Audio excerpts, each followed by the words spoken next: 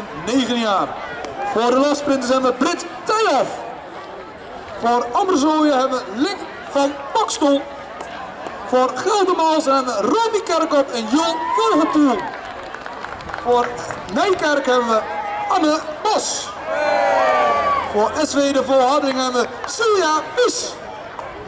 Voor SW Os hebben we Demi van Dinter.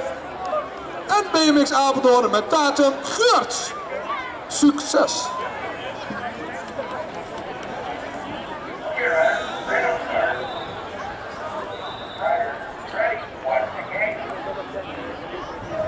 Alleen maar eens op het, uh, op het formulier en over datum geurt.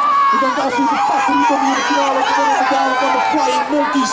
En wie neemt ze dan mee? Ze even kijken wie als eerste op tweede die bocht uitkomt. Ik denk dat Demi van Dinter is. We gaan kijken of ze hier het stuk op komen rijden. We gaan kijken naar nummer gelijk. Zo 509.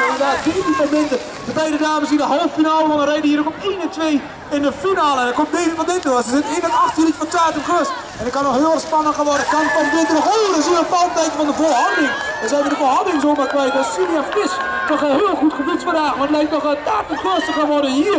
Naar de finish op positie nummer 1. Of komt Demi van Dinter nog ergens? Valt nog ergens veel. Het lijkt er niet op. Lijkt dat Tatum Gus hier kampioen wordt.